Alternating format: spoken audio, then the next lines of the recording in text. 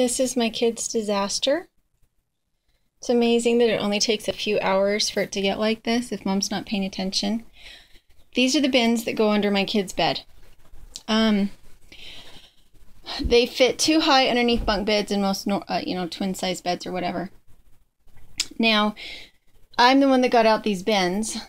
However, if you look under their bed, you can see that they've got all sorts of stuff under there that should be in bins or should be put up. So about every six months, when the seasons change, I go through my kids' clothes. I go under their bed. Um, I look for things that they've hidden. I pull couches out, and I look in drawers, and we do a reset.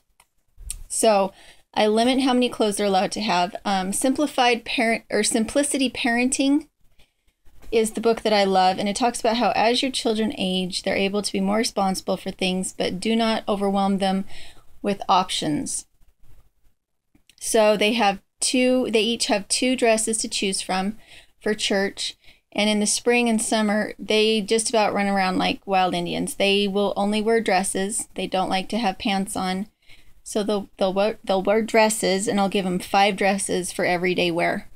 That way, my laundry isn't overloaded and I can watch and see if clothes are going through the laundry too quickly and if they're just putting clothes in the laundry basket because they don't want to put them up. Um, so you can see what kind of mess I'm cleaning up.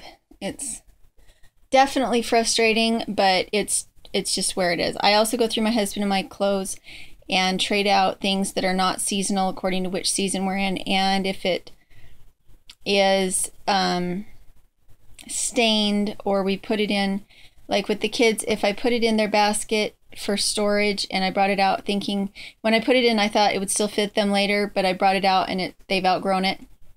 If kaya has outgrown it i will send it to salvation army.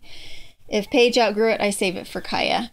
And um, again i really love simplified parenting because it means they only have as many toys and as many clothes as they can actually clean up at any given time and as you can tell lately, my kids' favorite toys have been sewing and paper. So they're they're enjoying their crafting right now. And it'll probably only take them about 10 minutes to clean this up, but I'm going to just go through their clothes while they're not in here and get everything sorted out so they can't object to me getting taking their favorite snow pants and putting them under a bed because it's not winter anymore. So that's what we do.